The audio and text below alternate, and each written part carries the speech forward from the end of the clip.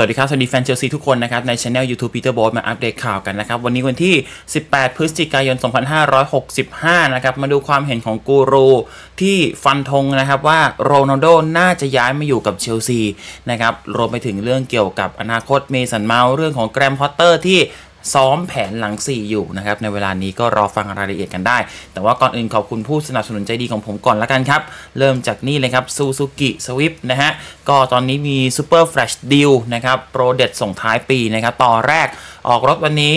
เริ่มผ่อนปีหน้า ต่อที่ 2 ดอกเบี้ยสุดพิเศษ แล้วก็ต่อที่ 3 รับบัตรเติมน้ำมันมูลค่าสูงสุด 10,000 บาทนะครับ สอบถามข้อมูลเพิ่มเติมได้ที่โชว์รูมซูซูกิทั่วประเทศเลยนะครับ ขอบคุณสิงห์ World of Football ด้วยนะครับ สปอนเซอร์อย่างเป็นทางการของช่องแล้วก็ของสโมสรเชลซี ไปกดไลค์แฟนเพจกันได้ แจกเสื้อเชลซีของแท้ทุกนัดนะครับ ห้ามพลาดเด็ดขาดนะครับ ไปติดตามกันได้ที่สิงห์ World of Football นะครับ ขอบคุณคอล่าแอคนะครับวิตามินลดสิวสูตรแพทย์นะครับใช้ดีจริงๆนะครับช่วยแก้ปัญหาจากภายในไม่ว่าจะเป็นสิวฮอร์โมน สิวอุดตัน สิวอักเสบผิวหน้ามันช่วยได้หมดเลย ตัวนี้เม็ดเดียวลดสิวได้ทั้งตัวปลอดภัยมีอย. มีฮาลาลด้วย สนใจสั่งซื้อสแกน QR code ด้านบนหรือ กดที่ลิงก์ด้านล่างก็ได้ บอกมาจากช่องของผมมีโปรโมชั่นพิเศษมอบให้นะครับ ขอบคุณยาแก้ไอตาขันตีด้วยนะครับ แล้วก็ยาถ่าย 1 2 3 เครือเดียวกันหมดกับทางกระเบนเน็บเลยนะครับ อยู่กับช่องมานานกว่า 4 ปี ทักไปสั่งซื้อบอกมาจากช่องพีเตอร์โบสั่งครบพันห้าลด 100 บาท แล้วก็ส่งฟรีทั่วประเทศด้วย ฝากไปอุดหนุนกันด้วยนะครับโอเค มาเริ่มข่าวสารกันนะครับ เริ่มกันที่เมสันเมาส์นะครับ ต้องบอกว่ากระแสเนี่ย โอ้โห สื่อรายงานขัดกันแบบวันต่อวันเลยนะครับ เมื่อวานนี้ไซมอนจอห์นสันบอกว่า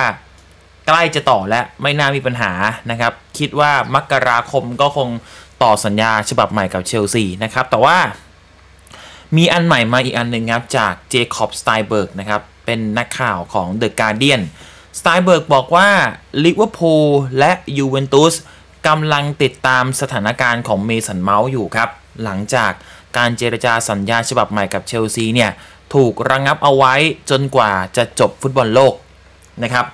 เมาส์เหลือสัญญากับเชลซี 18 เดือนนะครับ แล้วก็สถานการณ์ของเขาเนี่ยกำลังถูกสังเกตจากหลายทีมในยุโรป ซึ่งในมุมเชลซียังไงก็ไม่ต้องการเสียเมาส์ไปอยู่แล้ว เป็นเด็กปั้นมาตลอดชีวิต แล้วก็มองโลกแง่ดีว่าจะอยู่กับทีมต่อด้วย นอกจากนี้ครับ มีการพูดคุยกันด้วยว่าเมสันเมาส์อาจจะได้เป็นกัปตันทีมเชลซีในอนาคต ซึ่งเชลซีจะมอบสัญญาฉบับใหม่ที่ดีขึ้นให้แน่นอน ข่าวบอกว่าก่อนหน้านี้มีแมนซิตี้ด้วยที่ให้ความสนใจ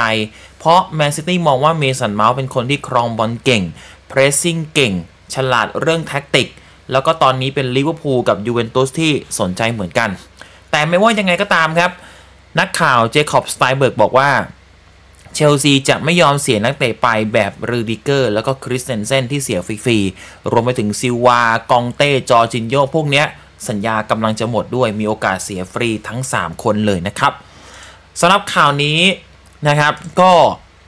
ต้องบอกว่าเจคอบสไตเบิร์กจริง ๆ ไม่ใช่นักข่าวสายเต้านะ เขาไม่ใช่แบบสไตล์แบบเล่นข่าวสีสันข่าว gossip นะ แต่ก็ไม่ได้ถึงขั้นเป็น tier หนึ่งหรือ 1.5 ผมว่าฟังเอาไว้ก็ไม่เสียหายนะครับ แต่โดยส่วนตัวเนี่ยผมว่า ผมยังให้น้ำหนักไปที่ไซมอนจอห์นสันที่เป็นสายตรงเชลซีมากกว่า เพราะว่าไซมอนจาก The Athletic UK เนี่ย เราดูผลงานของเขาเนี่ยสองปีหลังสุดเนี่ย ค่อนข้างแม่นนะครับไซมอนจอห์นสันค่อนข้างแม่น ผมว่าก็เป็นระดับใกล้เคียงกับแมตต์ลอเลย ค่อนข้างแม่น ส่วนเจคอบสไตเบิร์กเนี่ย ไม่ได้มาถี่แต่ว่ามาแต่ละทีก็ถือว่าอ่านได้พอฟังได้แล้วก็เอาจริง ๆ นะครับ ถ้าเกิดเราดูจาก detail ของข่าวนี้ดี ๆ เนี่ย ข้อมูลมันก็ไม่ได้หนีจากของไซมอนเยอะนะ แต่แค่วิธีการเลือกในการเล่าเนี่ยผมว่ามันอาจจะแตกต่างกันอย่างเช่น ของเจคอบบอกว่าสัญญาใหม่ถูกระงงับไว้จนกว่าจะจบฟุตบอลโลก เขาใช้คำว่าระงงับไว้ แต่ข่าวเมื่อวานในช่องผมไซมอนบอกว่าเชลซีจะคุยหลังจบฟุตบอลโลก เพราะว่า ไม่อยากให้นักเตะเสียสมาธิไปโฟกัสกับทีมชาติก่อน แล้วก็อีกอย่างหนึ่งคือช่วงนี้เชลซีฟอร์มแย่จะให้มานั่งคุยตอนนี้ ยิ้มแฉ่งถ่ายรูปต่อสัญญาเนี่ย มันก็ไม่ถูกถูกช่วงเวลานะครับ เพราะฉะนั้นของไซมอนจอห์นสันก็คือคุยหลังบอลโลกเหมือนกันนะ แต่แค่คำพูดมันไม่ได้ดูแบบโหดูน่ากังวล เขาแค่บอกว่ามันมีเหตุผลของมันอยู่ที่รอหลังบอลโลก แล้วก็เดี๋ยวมกราคม 2023 ก็คงเจรจาต่อสัญญากัน และอีกอย่างหนึ่งก็คือ ถึงแม้เจคอบสไตเบิร์กบอกว่าลิเวอร์พูลสนใจยูเวนตุสสนใจแมนซิตี้ก็เคยสนใจ ซึ่งผมว่ามันก็ไม่ใช่เรื่องผิดนะ การที่ตัวนักเตะสัญญาลดลงเหลือ 18 เดือน แล้วจะมีทีมอื่นๆ ให้ความสนใจ ผมว่ามันก็เป็นเรื่องปกติ แต่ point หลักที่เจคอบก็เขียนในข่าวเนี้ยเจคอบยังบอกเลยว่าเมสันเมาท์เป็นเด็กปั้นเชลซีมาทั้งชีวิตเชลซีมองเขาเป็นกัปตันทีมในอนาคตด้วยก็ดูแล้วยังไงก็น่าจะมีเปอร์เซ็นต์ต่อสัญญาสูงกว่า เพราะฉะนั้นถึงแม้ตัวข่าวมันจะดูแบบน่ากังวล โอ้โหเลี้ยวคูยูเว่ให้ความสนใจ แต่ทั้งข่าวนี้นะครับหรือข่าวไหนๆก็ตามเวลาเล่นเรื่องของเมสันมาเกี่ยวกับอนาคตไม่แน่นอนอะเขาก็จะย้ำอยู่เสมอว่าโอกาสอยู่กับเชลซีก็ยังสูงอยู่ดีนะครับแล้วก็ติดตามกันต่อนะครับเกี่ยวกับเรื่องนี้แต่ว่าเหมือนที่ผมบอกไปผมว่าผมยังเชื่อไซมอนจอห์นสันมาก่อนนะครับมาก่อนเพราะว่าแกบอกว่า จ่อแล้วเหลือแค่เซ็นสัญญาเดือนมกราคม แล้วก็ตอนนี้ทุกอย่างใกล้ที่จะบรรลุข้อตกลงกันแล้วนะครับ ถ้าเกิดอยากเอาชัวร์จริง ๆ ผมว่ารอแมตต์ลอมาเพิ่มเติม รอพวก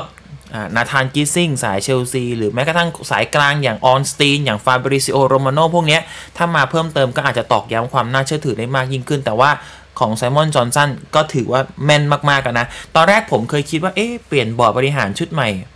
ไซมอนจอห์นสันจะแม่นน้อยลงหรือเปล่าวะเพราะว่าตอนข่าวเทคโอเวอร์เนี่ย แกเงียบมาก แกอาจจะไม่มีข้อมูลตอนเทคโอเวอร์จริง ๆ แต่ว่า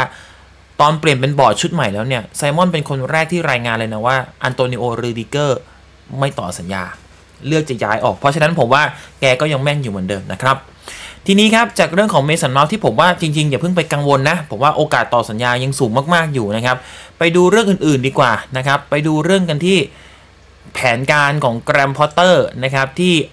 ซ้อมหลัง4นะครับแบบจริง ๆ จังๆนะก็ข้อมูลนี้มาจากไซมอนฟิลลิปส์นะครับไซมอนฟิลลิปเป็นบล็อกเกอร์สายเชลซีนะครับก็ทำคอนเทนต์คนติดตามใน Twitter เยอะทำเว็บไซต์ให้คนมาดูข่าว อารมณ์ประมาณนี้เหมือนปีเตอร์บอสแปลข่าวจากต่างประเทศมาฝากกันเนี่ยนะครับ อารมณ์เดียวกันไซมอนฟิลลิปบอกว่าเขาได้รับข้อมูลมานะครับว่าเชลซีมีความคิด ที่จะเล่นแผนหลัง 4 เป็นแผนหลักมานานแล้วนะแฟรงค์แลมพาร์ดก็เคยอยากเล่น 4-3-3 อยากได้เดแคลนไรซ์มายืนเป็นกองกลางตัวรับอยู่หลังมิดฟิลด์ตัวรุก 2 คน แต่ว่าแลมพาร์ดโดนปลดไปก่อน โทมัสทูเคิลก็อยากเล่นหลัง 4 แต่ตัวนักเตะไม่เอื้อ เพราะว่าถ้าเกิดเล่นหลัง 4 เกมรับมันจะหลวม จนกระทั่งล่าสุดแกรมพอตเตอร์ครับเป็นอีกคนหนึ่งที่ โอเค แผนตอนนี้เล่นหลัง 3 บ่อย นะครับ แต่อยากลองปั้นหลัง 4 ให้เป็นแผนหลักก่อนหลัง 3 เหมือนกัน ไซมอนบอกว่าย้ำนะว่าคนละคนกับไซมอนจอห์นสันนะไซมอนจอห์นสันคือนักข่าวของ The Athletic ไซมอนฟิลลิปส์เป็นบล็อกเกอร์เชลซีนะครับเขาบอกว่าข้อมูลที่ได้รับมาคือพอตเตอร์เนี่ย ชื่นชอบแผน 4-3-3 แต่ว่าชอบใช้กองกลางตัวรับประเภทคุมจังหวะเกมมากกว่ากลางรับตัดเกมเพียวๆธรรมชาติ ซึ่งถ้าเกิด นักเตะหายเจ็บกลับมากันครบเนี่ย น่าจะลองเซตแผนนี้ดู แล้วก็อาจจะผลักดันให้เป็นแผนหลักเชลซีไปเลย ซึ่งถ้าเป็นแบบนั้นเนี่ย เมสันเมาท์น่าจะต้องเล่นเป็นมิดฟิลด์ box to box เบอร์ 8 นะครับ ไม่ได้เล่นเป็นกองกลางตัวรุกและไม่ได้เล่นเป็นปีกและจะเป็นมิดฟิลด์เบอร์ 8 ซึ่งก็ไม่น่าจะมีปัญหาในการปรับตัวเพราะว่าในช่วงที่ร่วมงานกับหลายโค้ชทั้งแลมพาร์ดทั้งทูเคิลทั้งแกเร็ธเซาธ์เกตในทีมชาติอังกฤษ เมสันเมาท์ก็เล่นตำแหน่งนี้บ้างอยู่เหมือนกันนะครับ จริงๆเนี่ยเป็นตำแหน่งถนัดของเมสันเมาท์ด้วยนะครับตอนยังเป็นชุดเยาวชนนะครับแต่ว่าหลังๆเนี่ยโดนจับไปยืนเป็นตัวรุกซะเป็นส่วนใหญ่นะครับก็ข่าวนี้ก็ดูไปดูไปก่อนนะครับ ฟังหูไว้หูก่อนแต่ว่าจริง ๆ มีโอกาสจะเป็นเช่นนั้นไหมในความเห็นส่วนตัวของผมนะถ้าถามถึงหลัง 4 เนี่ย จริง ๆ พอตเตอร์ก็เล่นมาบ้างอยู่แล้ว แต่จุดน่าสนใจคือจะใช้เป็นแผนหลัก คือปกติพอตเตอร์ พอตเตอร์มันเปลี่ยนแผนเดาเดาเดาทางเขาไม่ค่อยถูกนะตั้งแต่อยู่ไบรตันแกก็เปลี่ยนแผนเยอะที่สุดของพรีเมียร์ลีกฤดูกาลก่อนนะครับก็จริง ๆ หลัง 3 หลัง 4 แกสลับกันไปบ่อยอยู่แล้ว แต่ว่า point ของข่าวนี้คือจะใช้หลัง 4 เป็นแผนหลักและอาจจะเซตเป็น 4-3-3 ก็เดี๋ยวมาดูกันว่าว่าช่วงที่นักเตะไปเบรกฟุตบอลโลกเนี่ยก็เดี๋ยวเชลซีเตรียมจะบินไปเก็บตัวที่อาบูดาบี ก็อาจจะใช้ช่วงเวลานั้นแหละในการซ้อมแผนนี้ดูนะครับว่ามันจะ work หรือไม่ work นะครับ จากเรื่องของแผนหลัง4นะครับยังอยู่กันที่ข่าวของไซมอนฟิลลิปส์เหมือนเดิมนะครับก็ฟังหูไว้หูนะ ผมย้ำอีกทีเพราะว่าไซมอนเขาเป็นบล็อกเกอร์นะครับเขารายงานอีกด้วยนะครับว่าแกรมพอตเตอร์ทีมบอร์ดบริหารชุดใหญ่ แล้วก็กลุ่มเจ้าของเชลซีเนี่ยนะครับกำลังเตรียมประชุมแผนเสริมทัพมกราคม ในช่วงที่เบรกฟุตบอลโลก อาจจะเซ็นสัญญา 2-3 คนเป็นอย่างน้อยในเดือนมกราคม หรืออาจจะได้มากสุด 4 คนถ้ามีนักเตะคนอื่นย้ายออกไปด้วย ข้อมูลจากไซมอนฟิลลิปส์นะฮะ บอกว่าเชลซีกำลังมองหามิดฟิลด์คนใหม่ 1 คน ตัวรุก 2 คน ซึ่งไอตัวรุกเนี่ย อาจจะเป็นกองหน้า 1 แล้วก็ปีก 1 รวมถึงกำลังให้ความสนใจแบ็คขวารายใหม่ด้วย ซึ่งตำแหน่งแบ็คขวากับมิดฟิลด์อันที่จริงเป็นแผนหลักในซัมเมอร์แต่ก็ต้องรอดูอีกทีว่าจะซื้อเดือนมกราคมเลยหรือเปล่า แล้วก็ในข่าวเนี้ย มีแฟนบอลเชลซีไปถามไซมอนฟิลลิปส์นะครับว่าอะรายงานมาแล้วนะครับ แล้วในในมุมของไซมอน ถ้าให้วิเคราะห์คิดว่าเชลซีจะซื้อใครบ้างนะครับไซมอนฟิลลิปส์ก็บอกว่าโอเค ผมจะตอบให้แต่ว่าอันนี้ไม่ใช่เชิงข้อมูล ไม่ใช่เชิงข่าวที่เขารับทราบมานะ แต่เขาจะวิเคราะห์จากความเห็นส่วนตัวของเขาไซมอนฟิลลิปส์บอกว่ากองกลางเชลซีอาจจะไปซื้อโรมิโอลาเวียของเซาท์แฮมป์ตันนะครับนะคนนี้ก็เล่นดีนะครับเซาท์แฮมป์ตันเพิ่งดึงมาจากแมนซิตี้เองนะครับ แล้วก็ปีกเขาบอกว่าจะไปซื้อเลอันโดรทรอสซาร์ของไบรตันนะฮะ ก็ตอนนี้จะเป็นไบรตันสาขา2นะฮะเชลซี ส่วนกองหน้านะครับเขาบอกว่าคงจะเป็นคริสโตเฟอร์เอ็นคุนคูแหละ แต่ว่าในรายของเอ็นคุนคูมันก็คงเป็นเซ็นล่วงหน้า แล้วก็รอย้ายช่วงซัมเมอร์อยู่ดีนะครับรอย้ายช่วงซัมเมอร์อยู่ดี ซึ่งก็เป็นเรื่องปกติครับเอ็นคุนคูผมย้ำให้ฟังหลายรอบแล้วนะครับว่า อย่าไปคาดหวังว่าจะเห็นเขา เล่นให้กับเชลซีในครึ่งฤดูกาลหลังเลยนะครับ เพราะว่าไลป์ซิกเขาเตะ UCL อะเขาก็ต้องการเก็บนักเตะตัวหลักเอาไว้เล่นใน UCL ก่อนนะครับ ถ้าจะมีโอกาสที่เอ็นคุนคูจะย้ายมาก็คงต้องเป็นช่วงช่วงซัมเมอร์เพียงอย่างเดียวนะครับ อะ อันนี้คือข่าวจากไซมอนฟิลลิปส์ที่นำมาฝากกันก็ฟังหูไว้หูนะ ก็ต้องกรองไว้ก่อน แต่ก็ฟังได้นะครับ ไม่ได้เสียหายอะไร ทีนี้ครับ มาดูกันที่เรื่องของคริสเตียโนโรนัลโด เมื่อคืนนะครับสัมภาษณ์ฉบับเต็มตอนที่ 2 ของโรนัลโดออกมาแล้วนะครับ หนักไปทางโจมตีเอริกเทนฮากนะครับ แต่ก็มีเกี่ยวข้องกับเชลซีบ้างอยู่เหมือนกันนะครับโรนัลโดบอกว่าเหมือนแบบให้สัมภาษณ์ยอมรับนะครับว่าตอนซัมเมอร์เชลซีสนใจเขาจริง ๆ นะครับโดบอกว่าเป็นความจริงนะที่ตอนซัมเมอร์เนี่ยมีข้อเสนอจากซาอุยื่นเข้ามา เป็นตัวเลขที่แบบมหาศาลมากๆ แต่บรรดาสื่อต่างๆเนี่ย โดแบบด่าสื่อนะ บอกว่าบรรดาสื่อต่างๆ ดันเล่นข่าวว่าไม่มีใครอยากได้ผมสักทีม ไม่มีใครอยากได้ผมเลยทั้งที่มันมีข้อเสนอเข้ามาไอ้เรื่องที่สื่อบอกว่าไม่มีใครต้องการผมมันเป็นเรื่องโกหกทั้งหมด นอกจากนี้เอเย่นของผมอย่างจอร์ดเมนเดสมีนักเตะในเครือเป็นร้อยคน แต่คุณเชื่อไหมตอนที่เมนเดสไปคุยกับเชลซีไปคุยกับอาร์เซนอลมักจะมีการพูดถึงชื่อของผมอยู่ตลอดด้วย ทั้งที่ มีนักเตะในสังกัดเป็นร้อยนะแต่ก็คุยถึงผมด้วย ดังนั้น ข่าวที่บอกว่าไม่มีใครสนใจผมเลยไม่เป็นความจริง อันนี้ก็เป็นการยอมรับนะครับว่าตอนที่จอร์จเมนเดสตระเวนคุยกับหลาย ๆ คนช่วงซัมเมอร์คุยกับเชลซีด้วยนะครับ เพราะว่าเมนเดสก็เป็นเอเย่นต์นักเตะหลายคนถูกไหมครับ ซึ่งตอนที่คุยเชลซีก็มีการสอบถามถึงโรนัลโดจริง ๆ ว่าเฮ้ยเป็นยังไงบ้างอะไรแบบนี้ เพราะฉะนั้นโดยืนยันนะครับว่ามีทีมสนใจเขาในช่วงซัมเมอร์นะฮะนอกจากนี้ครับ โรนัลโดยังโดนอ่าเพียร์สมอร์แกนที่เป็นพิธีกรเนี่ย ถามด้วยว่า จะยังกลับไปแมนยูอยู่ไหมนะครับ หลังจากที่มันมีปัญหาดราม่าอะไรพวกนี้สับเทนฮากเละเลยนะครับ โดบอกว่ามันยากมากที่จะผมจะตอบได้ว่า ผมจะได้กลับไปแมนยูไนเต็ดอีกหรือเปล่า คือผมรักสโมสรนะ แต่ผมไม่กล้ารับปากจริง ๆ เรื่องนี้มันแค่ต้องรอดูว่าจะเกิดอะไรขึ้น แต่บางที ถ้าผมไม่ได้กลับไป มันอาจจะดีสำหรับแมนเชสเตอร์ยูไนเต็ดก็ได้ที่ผมไม่ได้กลับไป แล้วก็อาจจะดีกับตัวผมเช่นกันที่จะได้เริ่มต้นบทบาทใหม่ในอาชีพของตัวเอง โดพยายามจะสื่อว่าเขาไม่อยากบอกว่าเขาจะไม่กลับไปแมนยูเพราะก็เป็นทีมที่เขารักนะ แต่บางทีถ้าเขาไม่ได้เล่นให้แมนยูแล้วเนี่ยมันอาจจะ win-win ต่อทั้งสองฝ่ายก็ได้แมนยูก็ move on ต่อ ส่วนตัวเขาก็ไปโฟกัส ในอาชีพที่เหลือของเขาต่อเพราะว่าอายุก็ 37 แล้ว โดก็บอกด้วยว่าบอลโลกหนนี้ก็น่าจะเป็นบอลโลกหนสุดท้ายของเขาแล้วด้วยร้อยเปอร์เซ็นต์เลยนะครับ ทีนี้ครับเกี่ยวกับว่าจะย้ายไปทีมไหนเนี่ยมันต้องรอดูยาวๆ บางทีรอดูฟอร์มบอลโลก รอดูเดือนมกราคมมันถึงจะตอบได้ถูกไหมแต่น่าจะย้ายแหละซึ่งมีความเห็นของกูรูคนหนึ่งครับโหแฟนเชลซีคุ้นหน้าคุ้นตาเป็นอย่างดีครับ วิลเลียมกัลลาสนะฮะ คนนี้เป็นอดีตกองหลังเชลซีนะครับ เป็นตำนานลอนดอนนะฮะ เพราะว่าเล่นในลอนดอน 3 ทีมเลยนะครับ แล้วก็แบบไม่ใช่ลอนดอนทีมเล็กเลยนะ ลอนดอนใหญ่หมดนะ เล่นทั้งเชลซี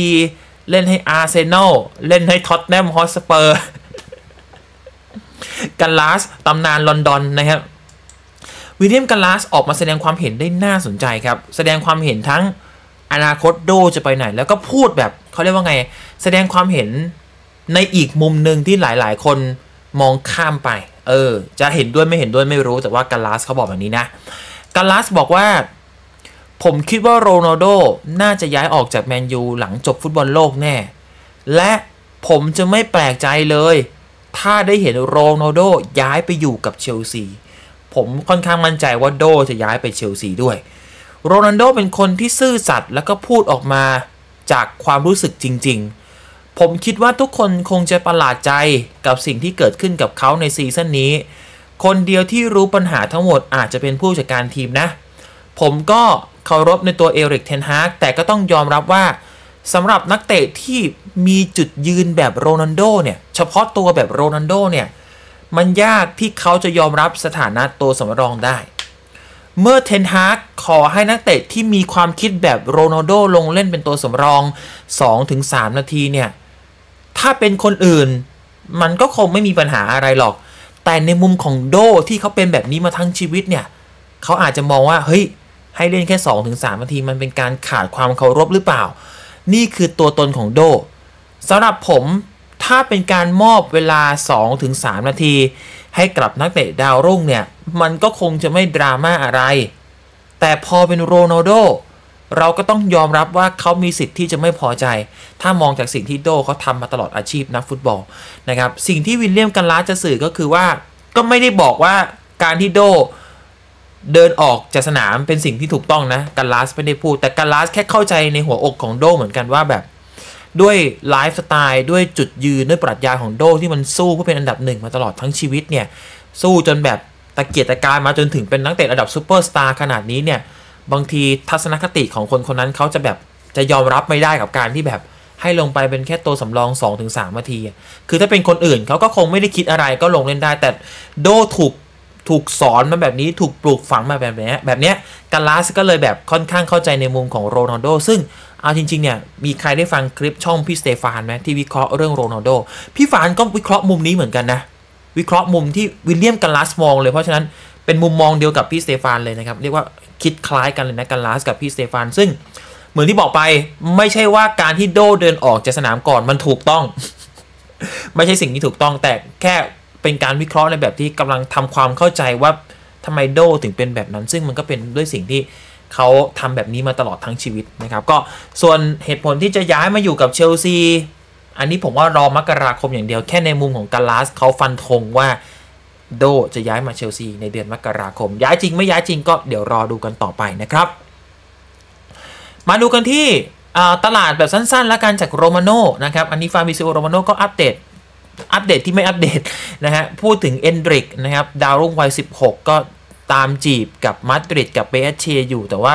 โรมาโน่ก็บอกว่ายังเร็วเกินไปที่จะตอบว่าเชลซีมาดริดกับเปแอสเชใครจะได้ตัว แต่ที่แน่ๆคืองานของเชลซีตอนนี้คือสร้างขุมกำลังแข้งพรสวรรค์ที่ดีที่สุดในโลกอยู่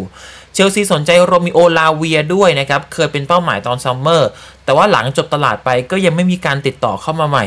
ส่วน playmaker รัสเซียอย่างอาร์เซนซาคายานเนี่ย อยากไปเชลซีมากๆ แต่ทั้งนี้ทั้งนั้นมันขึ้นอยู่กับผู้บริหารเซตใหม่ของเชลซีด้วยนะครับว่าจะเอายังไงกับซาคายาน ถามว่าสนใจไหมก็ยังสนใจอยู่ แต่จะซื้อจริงๆไหมขึ้นอยู่กับบอร์ดชุดใหม่ด้วยนะครับปิดท้ายกันที่ฮาคิมซีเยกครับ โอ้โห มีการแชร์กันเยอะมาก เมื่อวานนะครับโมร็อกโกมีโปรแกรมอุ่นเครื่องเจอกับจอร์เจียนะครับ อุ่นเครื่อง แล้วก็ถล่มไป 3-0 เลยนะครับ ไฮไลท์ก็คือ ฮาคิมซีเยกยิงประตูได้นาที 29 เป็นการยิงเกินครึ่งสนามครับ ยิงจากระยะในภาพเลยเนี่ยเลยครึ่งสนามมา แล้วก็บอลโอ้โหลอยโด่ง แล้วก็ย้อยข้ามหัวผู้รักษาประตูเข้าไปเลย ยิงเกินครึ่งสนามเข้าไปเลยสำหรับใครที่สงสัยว่าทำไมซีเยกกลับมาติดทีมชาติ คือปกติเนี่ยซีเยกเป็นสตาร์ของโมร็อกโกอยู่แล้วนะครับแต่ก่อนหน้านี้เคยทะเลาะกับโค้ชเก่าที่ชื่อว่า วาฮิดฮาลิลฮอดซิชนะครับทะเลาะกันนะครับดราม่าแล้วก็โดนตัดชื่อไปส่วนซีเยกก็ไม่อยากกลับมาติดทีมชาติด้วยเคย retire ตัวเองไปพักหนึ่ง แต่ว่าพอโมร็อกโกเขาเปลี่ยนโค้ชล่าสุดเป็นวาลิดเรกรากุยนะครับทำให้ซีเยกเนี่ยยอมกลับมาเล่นทีมชาติอีกครั้ง แล้วก็จริงๆสถิติกับทีมชาติดีนะ 43 นัดยิงไปถึง 18 ประตูนะครับก็เป็นตัวหลักของทีมชาติโมร็อกโกด้วยนะครับก็ขอให้หลังจบช่วงจบช่วงเบรกฟุตบอลโลกกลับมาอยู่เชลซีเนี่ยเอาแบบนี้นะซีเยกนะ ขอเล่นแบบมีจิตวิญญาณมี passion นะครับซึ่งฟอร์มตัวรุกเชลซีตอนนี้ไม่มีใครเล่นดีสักคน ผมว่าทุกคนก็น่าจะมีโอกาสได้เล่นนะ ถ้าเกิดแบบดูฟอร์มสเตอร์ลิง